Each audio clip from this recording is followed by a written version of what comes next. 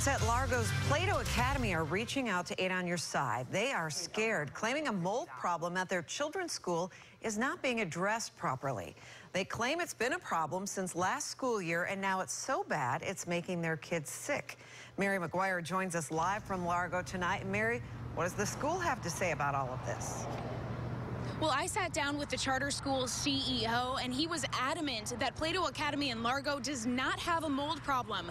But concerned parents, mold experts, and even the director of charter schools for Pinellas County Schools are telling me a different story once school started again, he was having breathing issues. Dina Zervis and Barbara Garrow claim mold has been an issue in portable classrooms at Plato Academy Largo for months. And these pictures show why they are concerned. This is their health and they have to breathe this in every single day. They're there six hours a day at school. The president and CEO of Superior Schools, which owns and operates Plato Academy, claims there is no mold and that the stuff in the pictures is actually just construction debris from drywall and ducts being replaced over the summer. But you say that there was no mold? No.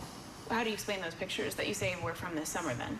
Um, the pictures most likely were insulation. They came down from the ceiling uh, but there was no visible mold that we can tell. We had a licensed Florida mold assessor check out the pictures, who had a different opinion. The table's got mold spores growing all around it on the wood surface. And how can you tell that that's mold versus debris? From the 15 years of experience and the way the growth pattern is. Over email, Rick Wolf, who oversees charter schools in the county, tells me a team did a site visit on Monday where some mold was found. Staff at the school told him crews came in over the weekend to clean and paint over the mold, even sharing these pictures with me taken by a Plato staff member, the first on Friday and the next on Monday. Still, Christopoulos maintains there is no mold. So there was definitely no mention of any mold, and we definitely did not do uh, any painting or cleaning or anything like that on the weekend.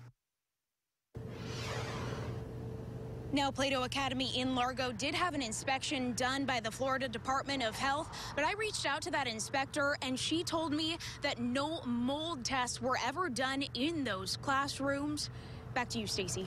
So, Mary, if a child does breathe in mold spores, what kind of health problems can that cause? Well, it can cause a lot of respiratory issues, especially for children with asthma. And we were allow allowed inside of those classrooms this afternoon. I didn't see any mold personally, but those mold spores are invisible to the naked eye, and you really do need a mold inspection test done by a professional to tell whether or not it's there. Frightening stuff when kids are involved. Mary McGuire live in Largo. Thank you.